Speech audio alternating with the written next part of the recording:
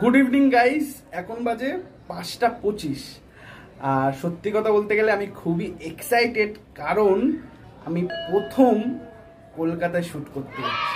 আর কলকাতায় কোথায় শ্যুট করতে যাচ্ছি সেটা তো তোমাদের বলব না। তা জানতে হলে তোমাদের শেষ অবধি ভিডিওটা দেখতে হবে। চলো তাহলে কলকাতায় যাওয়া যাক। সো গাইস আমরা এখন চলে এসেছি খাই খাই কিচেনে আর খাই খাই কিচেনটা একদম উত্তর কলকাতার কেন্দ্র। সাবেকি বাগবাজারে অবস্থিত। আর খাই খাই কিচেনটা বাইরে থেকে কেমন দেখতে? একবার তোমরা দেখে নাও।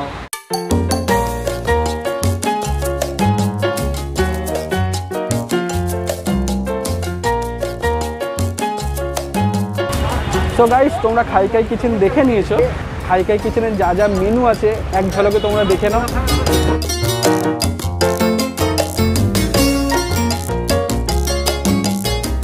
সো গাইস এখন খাই খাই কিচেনে ওনারের থেকে প্রশ্ন করব কিন্তু একটা দুর্ভাগ্যজনক ওনার আজকে অ্যাভেলেবেল নেই। তাই তার স্টাফ থেকেই কিছু প্রশ্ন করা যাক। তো প্রথম প্রশ্নটা হলো যে এই খাই খাই কিচেনের কত বছর হলো? এই খাই খাই কিচেনটা পঁচিশ বছরের ব্রাঞ্চ আর এইটা হলো পাঁচ বছরের। এইটা বাগবাজারটা। দ্বিতীয় প্রশ্ন যে এখানে যা যা আইটেমগুলো আছে পরিস্থিতি তো খুবই খারাপ। তো তোমরা কি আইটেমগুলো কি হাইজিনিকভাবে কি তৈরি করছ? হাতে গ্লাস মাথায় ক্যাপ এসব করেই সব তৈরি হয় তৃতীয় প্রশ্ন যে এখানে যা যা আইটেম আছে সেটা আমি অন্য দোকানেও পেয়ে যাব। কিন্তু এখানে তোমাদের খাই খাই কিচেনে কি স্পেশালিটি আছে যে আমি এখানে এসে খাব? যে জিনিসটা আইটেম আছে সেটা কোনো দোকানে নেই। সেটা হলো আমাদের পোলো চিকেন পোলো। ওর কোয়ালিটিও ভালো কোয়ান্টিটিও ভালো ওর মধ্যে সব কিছু ভালো।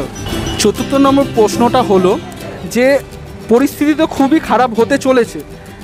যদি বাই চান্স যদি লকডাউন হয়ে যায় তাহলে কি তোমাদের হোম ডেলিভারি অ্যাভেলেবেল আছে? হ্যাঁ আছে হোম ডেলিভারি আছে। ওটাতেই দেবো।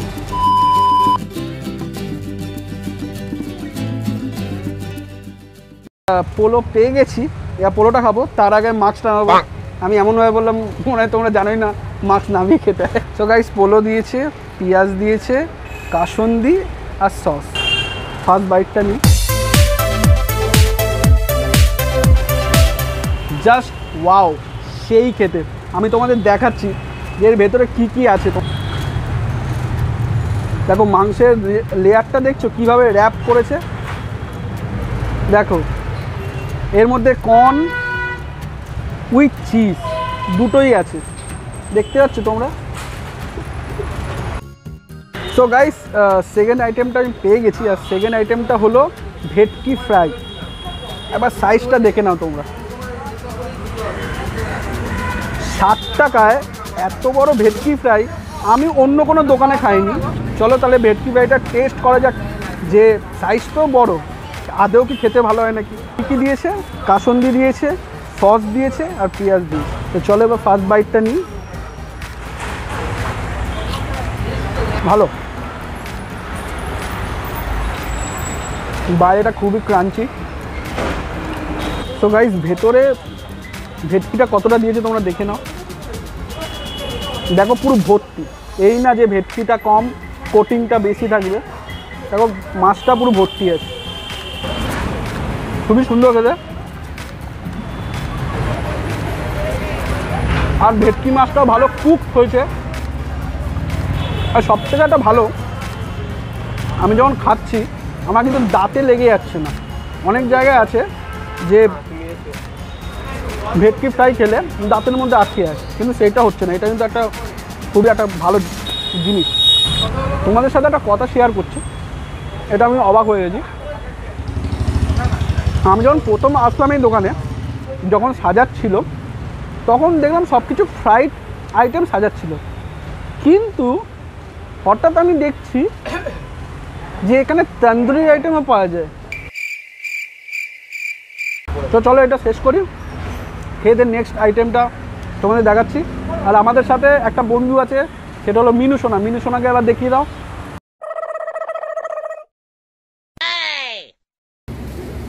তো গাইস চিকেন চিজ বল তো পেয়ে গেছি। নাম তো চিজ বল আদেও দেখি এর মধ্যে কি চিজ আছে কি নেই। চলো তাহলে খাওয়া যাক। সো গাইস খেতে পুরো ক্রাঞ্চি বাইরেরটা পুরো ক্রাঞ্চি আর ভেতরে দেখো মাংস পুরো ভর্তি। চতুর্থ আইটেম তন্দুরি চিকেন লেগ আর সত্যি কথা বলতে আমি যখন তন্দুরি আইটেম দেখি তখন আমি না খেয়ে থাকতে পারি না তাই আমি অর্ডার করেই ফেললাম লেগটা লেগটা ট্রাই করে দেখি কেমন খেতে। খুবই বড়।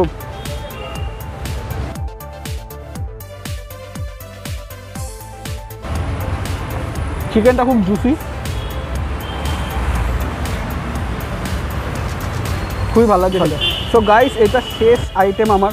এই খাই খাই কিচেনে আর এটা হলো কেশর পেস্তা লস্যি। দেখি আদেও কি ভালো খেতে।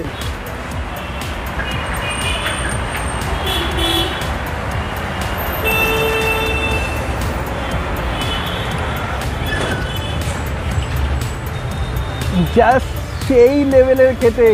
আর আমি ডিসক্রিপশন বক্সে গুগল ম্যাপের লিঙ্ক তো দিয়ে দেবো। তোমরা লিঙ্কের মাধ্যমে চলে এসো কিন্তু খাই খাইতে। আর এইটা ওপেন হয় পাঁচটা থেকে দশটা অবধি। তো গাইস লস্যিটা শেষ করি, খেয়ে তোমাদের অনেস্ট রিভিউটা দিচ্ছি ওকে চলো বাই সো গাইস তোমাদের সাথে অনেস্ট রিভিউটা শেয়ার করে নেব। তোমরা কিন্তু ভিডিওটা কিন্তু শেষ অবধি দেখো ওকে তো প্রথম আমি আইটেমটা কি নিয়েছিলাম? চিকেন পোলো। সত্যি কথা বলতে, এই প্রথম আমি ট্রাই করলাম চিকেন পোলো। আমার কাছে সেই লেভেলের লেগেছে। তোমরা যদি জানো যে এই পোলো আইটেমটা যদি অন্য কোনো দোকানে পাওয়া যায় সো প্লিজ আমায় কমেন্ট বক্সে জানিও। দ্বিতীয় আইটেমে আসা যাক দ্বিতীয় আইটেমটা ছিল বাটার ফ্রাই আর আমি তোমাদের বলেছি ভেটকি ফ্রাই কোন এই লোক কাহা সে আতে আমার কাছে বাটার ফ্রাইটা খুবই ভালো লেগেছে। আমি অনেক দোকানেই খেয়েছি। আমার এই দোকানেরটা বেস্ট লেগেছে কারণ আমি ষাট টাকা দিয়ে এত ভালো কোয়ালিটি আর কোয়ান্টিটি আমি আশা করিনি।